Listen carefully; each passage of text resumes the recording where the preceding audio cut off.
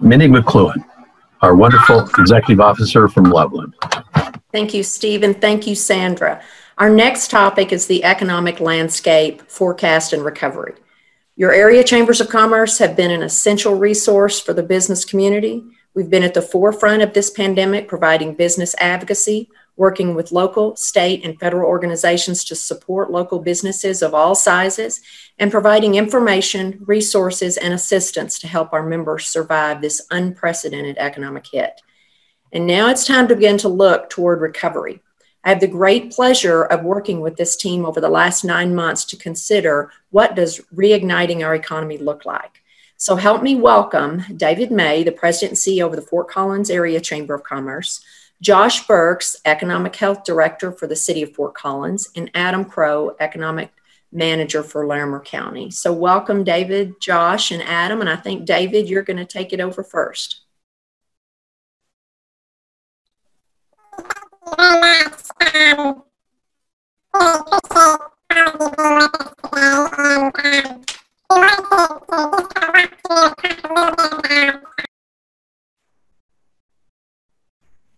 Little bit of audio problem, David. You sounded much younger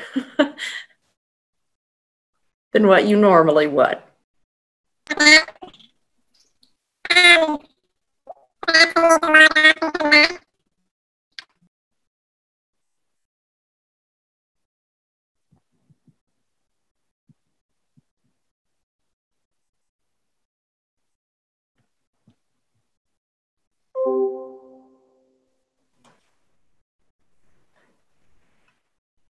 Well, if this was a comic relief segment, we would be getting a thousand hits right now.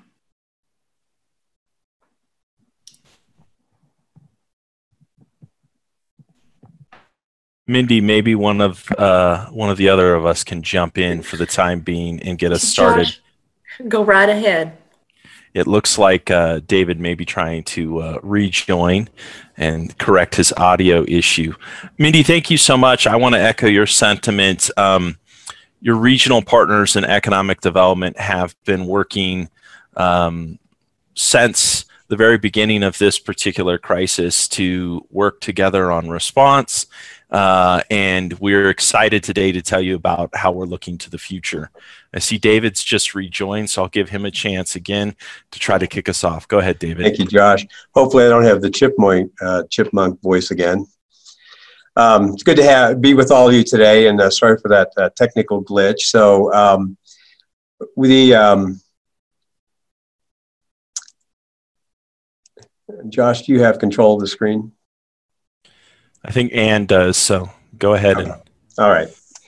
So um, obviously, uh, 2020 um, has been an interesting year. It's been a bit of a a, uh, a stinker to say the least, and I think uh, we we joke about 2020 uh, in a lot of ways, and, and, look forward to to seeing us get by it. Um, but it does have it does have some economic implications for us that we we uh, do want to talk with you about. So, um, economic situation.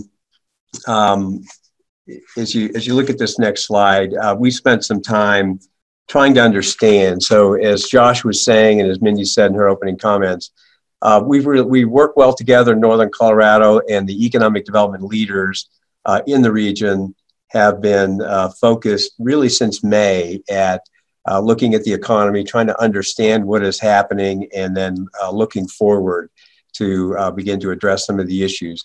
So we want to give you just a quick sample. We, we don't want to dwell on the, on the data today in, in any great detail, but these are 11 of the indicators that we have been uh, looking at, and you can see the trend line over on the right-hand side as far as, as what is happening with uh, initial unemployment claims and, and uh, continued claims, et cetera.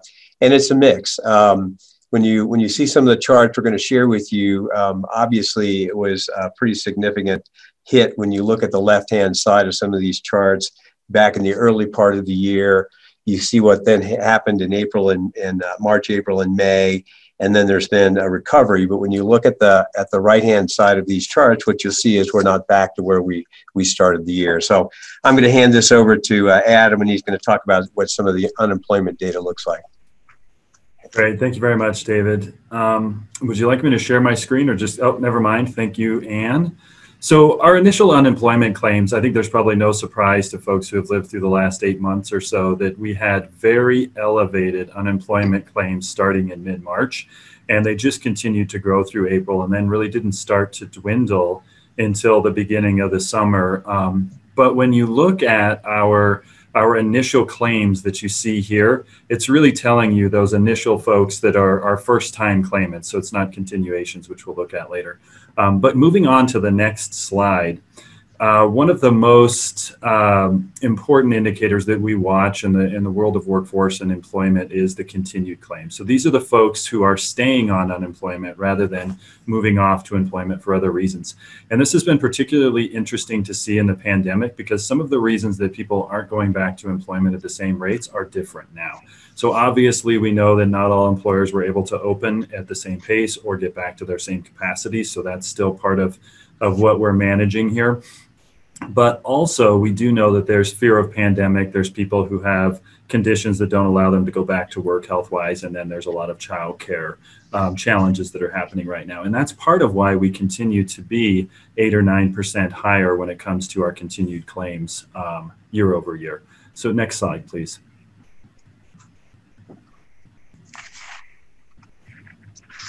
All right, so unemployment rate again. Um, as we've talked about on the first couple of slides, uh, you can you can definitely understand why our unemployment rate remains high. But that spike on the top slide on the right hand corner really illustrates um, the steep uh, the steep climb that unemployment had in the, the first part of the year at the beginning of the, the um, second quarter, um, end of the first quarter.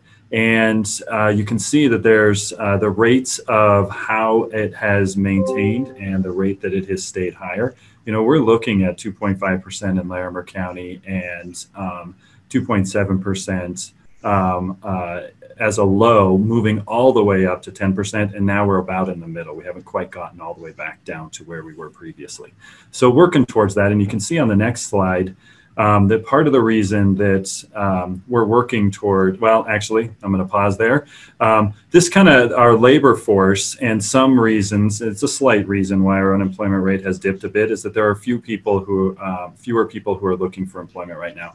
We have seen some individuals, and you can see there that it's down um, regionally by about 3.2%, our labor force. So these are the people who are vying for those jobs and people who are in, um, working towards um, finding employment and or are employed. And of course, we have seen some people have to drop out. Again, health concerns has been part of that for some individuals. Childcare has been uh, another aspect of it. And when you look at those concerns when it comes to our, our um, additional responsibilities at home, women do make up a larger proportion than we would have seen in the past um, due to this, the specifics of COVID 19.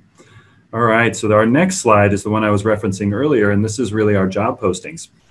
So our job postings, for obvious reasons, dipped very low uh, at, the, at the first part of the pandemic, and they are starting to climb back. But it's also important to note that we have had some mainstays in our economy, specifically construction and manufacturing, which continue to not only hire but maintain um, levels of employment. And we are now seeing healthcare come back in and do some more hiring. So, along with other businesses and some of our, our other essential employers opening back up at greater amounts, we're seeing our job postings climb. Um, it is a little bit harder for some employers to find employees, so um, uh, we are working with them diligently to to look at what hiring people in a pandemic looks like because it is a little different. Um, okay, and then I think uh, at this point we switch back over to David. So what you're seeing with this chart um, is that local merchant sales fell very dramatically in that April, March and April timeframe. Um, you're seeing this gradual recovery that's taken place then through the spring um, and in the summer into the fall. Sales in Larimer County uh, fell 14% below um, where we were in January, and in Weld County, 6% lower. On this next slide, um, you're seeing retail sales and hospitality in uh, Larimer County bottomed out in April. Um, and now those sales are actually surpass, surpassing where we were in 2019. And Weld County bottomed out in April and um, has remained below those levels. And then on this last slide uh, is around um, hotel occupancy. And uh, what you're seeing here is um, a pretty significant decline. Um, you can see Estes Park, Fort Collins, Greeley, Longmont, Loveland um, on these charts. And um, so very dramatic fall off uh, in the spring. And you can see we're still performing uh, significantly below the 2019 levels. So um, I'm going to turn it back over to Adam. And what we wanted to do is have him very quickly uh, talk about we wanted to paint this picture for you so you could see and, and uh, you know you know this has happened but we wanted to put it actually in a, in a form that uh, uh, dramatically showed the impact from uh, early in the spring to now. But we did respond and we're in the in the recovery and the reopening phase. We wanted him to talk a little bit about that part of it. Sure. Thank you david. So as we look at uh, response initially um, we had done a lot of work over the last three, four years as regional partners, chambers, economic developers, municipalities, um, small business development centers to build strong linkages and strong partnerships. So we were able to respond quickly. And one of the first things that we recognized is that our business community needed access to resources, whether they be financial or information around unemployment or information around how to stay safe and current health orders um, which led to us creating a one-stop shop, which was the uh, nocorecovers.com. Encourage you all to take a look at that webpage. It, it's updated daily and, and, very informative. We also um, soon after realized that personal protective equipment was going to be very necessary towards businesses reopening. Um, so taking a leadership role in setting up a marketplace for PPE and the NOCO safety supply became very important. And again, these are a lot of local distributors as well as a lot of local companies that are finding PPE there. And then um, almost all of our municipalities, including the city of Fort Collins, has focused on how can we bring a lot of our commerce back to our local businesses and make sure that uh, we are supporting them. And so the four Fort Collins and other initiatives have have definitely risen up. And if we move to our next slide, one of the other things that we started to learn, and this was uh, really towards the the springtime, is that in a pandemic, personal behaviors have an impact on our economy and the and the capacity levels that businesses are, are able to be open. So to, to benefit our business community, we knew that we needed to develop some very clear and consistent and easy to digest information about what it means to keep yourself safe, your family safe, your coworkers safe, and your businesses open. And that's where Keep NOCO Open came out. And some of you may have seen masks and other um, materials that are out there in the world, and it's all over social media, and we encourage you, encourage you to share that. But this is a partnership between all the municipalities and um, other NOCO economic development partners, as well as our health officials in Northern Colorado. So this continues to evolve as the pandemic does, so that we are up to date in the communication we're providing. And we will see this messaging expand soon into other forms of media, so watch for that. And um, please access this information on uh, nocorecovers.com and share it yourselves. Thank you. Well, thank you, Adam and David, for giving us uh, a quick tour there of what's happened in our economy and how we've been working regionally to really respond. I'd like to change the uh, direction for a moment and focus on what your uh, chambers, regional economic development professionals, municipal economic development professionals are doing to really start to look ahead. Um, it's important to shift our focus uh, at some point. Uh, if you go ahead to the next slide from uh, you know the the response uh, activities that we've been heavily engaged in. What you see now is a fairly standard sort of um, crisis or you know economic downturn sort of cycle uh, graphic, um, and where we've been, I think, stuck for not stuck, but where we've been occupying our time for the last nine months has been primarily in response and then what we've called pre recovery, which is the beginnings of the inflection point to really start rebuilding the economy. And I think that uh, the data that both David and Adam highlighted show that we're now on our way into that recovery activity where the um, economic um, levels are beginning to return to what they were previously. And now it's about looking ahead into what the new normal will be and understanding what uh, are both the opportunities and the challenges of that.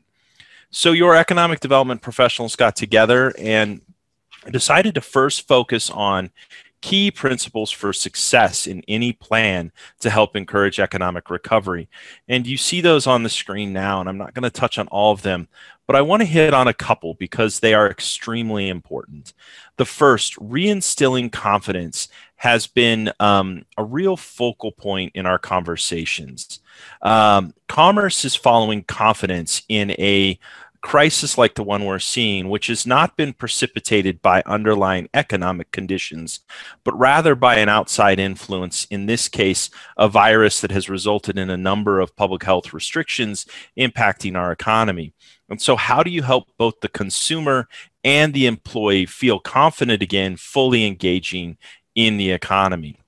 And I think David will talk about that a little bit more and some of the limiting effects of having low confidence uh, have on the overall economy. That leads us to our next principle, which is very important, which is that the work of developing a recovery plan is both practical and symbolic. It's as important that we focus on what needs to be done and how to do it well to rebuild our economy as it is to demonstrate uh, as a business community and as economic development professionals that we are engaged in this space and focused on doing the right things to help rebuild that economy. And where I'll stop is uh, with the third principle there, which is that we all have a vested interest. Businesses have a vested interest in reopening to be able to return to previous revenue levels and adjust their business models and perhaps diversify revenue models. The government has an interest in getting back open because it relies on the economic activity that the business community generates to create the tax revenue that it turns around and provides service to its citizens. And as you can see, there are a number of other principles that help guide this process and hopefully lead us to a plan that ultimately allows us to understand both how to meet the challenges of this particular economic crisis as well as what opportunities might be in there. And I think if we go to the last slide here, uh, the the group has focused on a process to build this plan that uh, hopefully you'll begin to start seeing. We started uh, just yesterday with a series of focus groups targeting specific industries and groups of businesses uh, across both Larimer and Weld County to understand what's happening for them and what they're seeing. So, this is really a multi phase process to lead us to a strong recovery plan. The first phase, as it should be in just about any strategic effort, is to understand and analyze what's taking place today. Uh, that work, as you see, was completed. David and Adam went over the data analysis earlier. That's continued to be refined, and once it's um, fully vetted and ready for public consumption, I'm sure will be made available on NOCO Recovers as well as a number of other sites. We're now in phase two, which is business engagement, understanding from you, the business community yourself, what's happening for you, ground truthing the data that we have analyzed, and beginning to put that all together. And that really forms the discovery process of a strategic plan and leads us then what to, will be phase three, which is strategy development. What are the tactics, strategies, and objectives that we want to pursue in a plan?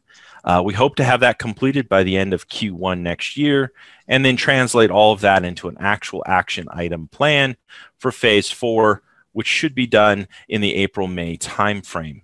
Last, I want to talk about an example of the kind of things on the next slide that um, will be tied into this.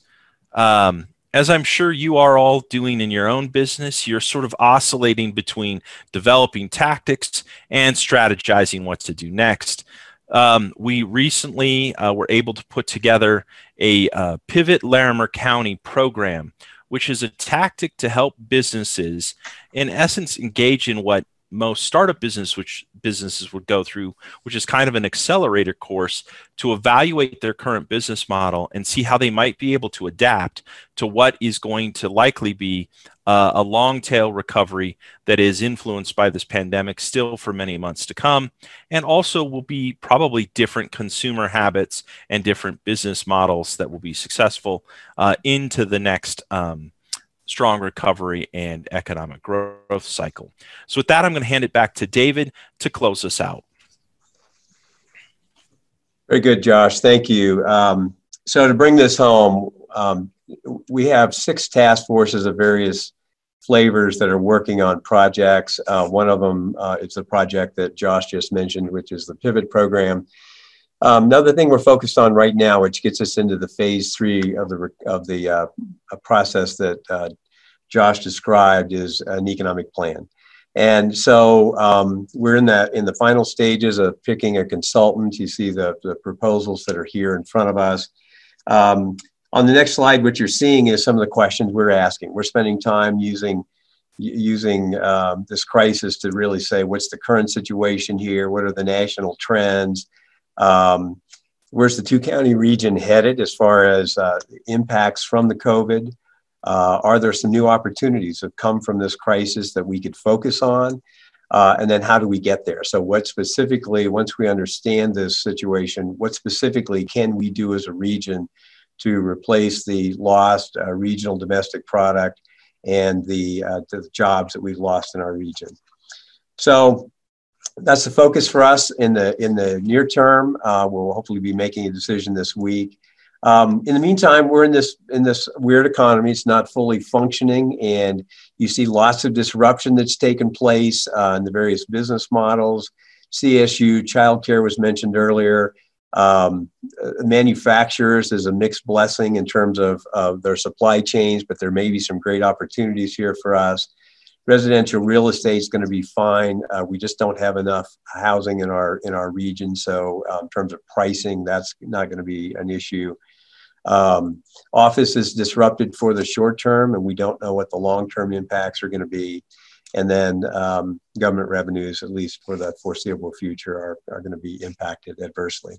So longer term economy, um, you know, prior to COVID, we we saw um, you know, a strong economy here. Uh, some of the economic drivers uh, have been damaged when you look at Colorado State University, uh, retail, restaurants, lodging, uh, healthcare, oil and gas, due primarily to state regulations, manufacturing. Um, it, what we're trying to figure out now is what's the long term implication. Some of these uh, sectors will bounce back. Uh, nicely. Others, it's going to take some focus and dedicated work over a number of years to um, to see those come around. Um, Kiplinger letter um, said that the economy should recover all of its COVID 19 related losses by the uh, third quarter of 2021, uh, which is quicker than expected, uh, but it's still a sign that we have a, a, deep hole to get out of. So, our path forward is to uh, be data driven, be very intentional, our economic planning, and then work together as a region. And obviously, um, as you can see from this quote, it's not always what happens to you; it's it's uh, what you do about it. And um, and so I think that's the attitude you're seeing with our folks. And and I want to thank Adam and uh, Josh uh, for your work. And I want to turn this now over to our our next uh, panel. Thank you all.